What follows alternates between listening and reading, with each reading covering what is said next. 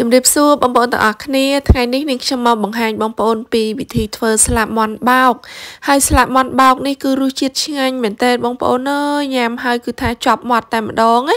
ញ៉ាំមួយបាយក៏បានញ៉ាំជាមួយនឹងជ្រក់ល្ហុងជ្រក់ការ៉ុតជ្រក់ទឹកសក់អីក៏បានដែរចាចំពោះវិធីធ្វើដំបូងនេះគឺខ្ញុំមានស្លាបមន់នេះចំនួន1គីឡូចាគឺខ្ញុំបានដកឆ្អឹងដកសាច់ដកអីចេញមកអស់ហើយហើយសាច់ដែលចាប់នឹងឆ្អឹងហ្នឹងគឺខ្ញុំយកវាមកជាចាដើម្បីយើងយកទៅច្រាំលាយមួយគ្រឿងបងប្អូនហើយសាច់ដែលបានចេញពីស្លាបមាន់ហ្នឹងគឺអត់សូវច្រើនទេបងប្អូនអើយបានតែបន្តិចទេ ហើយយើងយើងចង់ញាត់ស្លាបមាន់របស់យើងឲ្យរៀងប៉ោងប៉ោងអញ្ចឹងនេះខ្ញុំក៏ថែមសាច់ជ្រូក ចំណែកឯនេះវិញគឺជាសាច់ជ្រូកចាសាច់ជ្រូកជាប់ខ្លាញ់ហ្នឹងបងប្អូនយើងជាតែស្បែកវានឹងចេញទៅបន្ទាប់មកគឺយើងច្រាំទាំងខ្លាញ់ទាំងសាច់ហ្នឹងទៅដើម្បីឲ្យអឺខ្លាញ់ហ្នឹងវាជួយធ្វើឲ្យសាច់របស់យើងហ្នឹងវាទន់ល្មើយឆ្ងាញ់ផងចាអញ្ចឹងសាច់នេះគឺខ្ញុំដាក់រីងច្រើនចាហើយខ្ញុំលាយតែសាច់សុទ្ធទេបងប្អូនអត់មានដាក់មីស៊ូអីទេដាក់សាច់សុទ្ធចឹងទៅឆ្ងាញ់ណាចាបន្ទាប់ពីយើងច្រាំសាច់ជ្រូករបស់យើងបានម៉ត់ល្អប៉ុណ្នេះហើយគឺយើងយកទៅដាក់នៅក្នុងចានធំមួយទៅហើយបន្ទាប់មកសំយើងចាប់ផ្ដើមលីគ្រឿងហើយចំពោះគ្រឿងទេសវិញគឺខ្ញុំមានគ្រឿងកុលក្រៃគ្រឿងកុលក្រៃហ្នឹងគឺខ្ញុំកិនទុកស្រាប់បងប្អូន ចាបន្ទាប់មកយើងដាក់ប្រហុកបន្តិចទៅស្ករប៊ីចេងទឹកត្រីម្សៅ ចាហើយអំបិលមកចាប់ទៀតទៅតិចតិចបានណាបងប្អូនប្រយ័ត្នប្រៃហ្នឹងហើយហើយបន្ទាប់មកដាក់ប្រេងឆាបន្តិចហើយនឹងទឹកពេញខ្យងបន្តិចចាបន្ទាប់មកទៀតគឺយើងច្របល់គ្រឿងយើងឲ្យចូលជាតិគ្នាទៅហើយខ្ញុំមើលទៅដូចអត់សូវក្រហមចឹងទៅគឺខ្ញុំថែមម្សៅម្ទេសដាក់បន្តិចចូល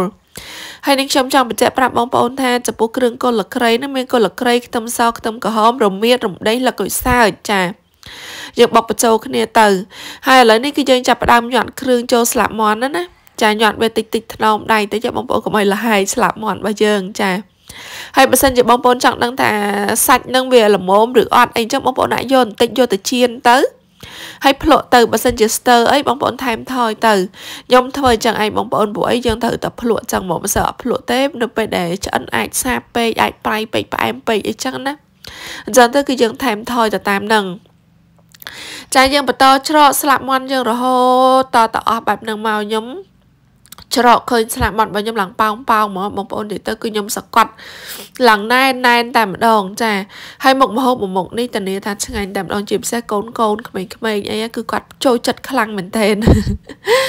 ចាបើសិនយើងមានពេលយើងសាកធ្វើញ៉ាំទៅបងប្អូននៅតានីថាឆ្ងាញ់តែម្ដងចាគឺខ្ញុំបន្តច្រកបែបនឹងរហូតតទៅអស់ណាហ្នឹងហើយយើងសកត់សកត់បែបហ្នឹងមក ចំណែកអានេះវិញគឺជាស្លាបមន់ដែលខ្ញុំបានញាត់ហើយហ្នឹងបងប្អូនចាញាត់ហើយហើយគឺយើងចាប់ផ្ដើមយកវាទៅចៀនដាក់ខ្ទះប្រេងឆាបន្តិចចូលទៅឲ្យបើកភ្លើងតិចតិចបានណាដើម្បីឆ្អិនដល់ក្នុង ចាយើងចៀនវាបើកភ្លើងតិចតិចតិចតិចរហូតតទៅឆ្អិនល្អចាឆ្អិនល្អហើយគឺបានហើយបងប្អូនអើយហើយចំពោះវិធីចិនចៀននេះវិញគឺរយៈពេលរៀងយូរបន្តិចដោយសារតែយើងបើកភ្លើងតិចតិចតិចតិចចង់ឲ្យឆ្អិនដល់ក្នុងបើសិនជាយើងបង្ខំភ្លើងឆ្អិនតក្រៅបងប្អូនខ្លោចក្រៅនឹងហ្មងហើយខាងក្នុងឆៅអញ្ចឹងណាអញ្ចឹងទៅគឺយើងបើកភ្លើងតិចតិចហើយប្រែចុះឡើងចុះឡើងអញ្ចឹងរហូតទៅចាចំពោះវិធីធ្វើស្លាកមាន់បោននេះគឺអត់មានអីពិបាកពិបាកតដកឆ្អឹងចេញពីស្លាកមាន់ហ្នឹងឯងហើយចំពោះវិធីដកឆ្អឹងចេញពីស្លាកមាន់ហ្នឹងនាងខ្ញុំនឹងបង្ហាញបងប្អូននៅវីដេអូមួយទៀតណាចារបៀបដកឆ្អឹងចេញពីស្លាកមាន់គឺរៀងពិបាកបន្តិចប៉ុន្តែអត់អីទេបងប្អូនយើងអាចធ្វើបានអញ្ចឹងណា ចាឥឡូវនេះគឺឆ្អិនរួចរាល់ហើយមិនដែរបងប្អូនតំណងឯងពណ៌ឡើងស្រស់ហ្មងណាចាពណ៌ឡើងស្រស់ហើយឡើងឈ្ងុយជៀនទៅឡើងឈ្ងុយតំណងគួរចង់ញ៉ាំមែនតើហើយនឹងខ្ញុំពេលជៀនក្របណាដោយសារអត់ចង់ឲ្យវាខ្ទៀតណាពេលខ្លះទៅវាខ្ទៀតខ្លាញ់តិចតិចដែរចាឥឡូវហើយហើយគឺខ្ញុំចាប់ផ្ដើមហាន់ឲ្យបងប្អូនមើលណាចាំមើលខាងក្នុងអូយគាត់តែពុះចេញមកគឺថាឡើងឈ្ងុយហ្មងបងប្អូនដូចខ្ញុំថាអញ្ចឹងញ៉ាំមួយបាយក៏បានញ៉ាំមួយជ្រក់ក៏បានដែរគឺឆ្ងាញ់ដូចគ្នា ចាអញ្ចឹងបងប្អូនកុំភ្លេចសាកល្បងធ្វើទាំងអស់គ្នាណា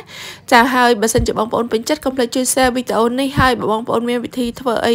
ផ្សេងពីនឹងអាច comment ប្រាប់ខ្ញុំនៅខាងក្រោមវីដេអូបានចាអញ្ចឹងនេះខ្ញុំសូមអរគុណបងប្អូនដែលបានតាមដានទស្សនាវីដេអូនេះចាំជួបនឹងខ្ញុំនៅវីដេអូក្រោយៗអរគុណសម្រាប់ការគ្រប់គ្រងកន្លងមកចាជម្រាបលា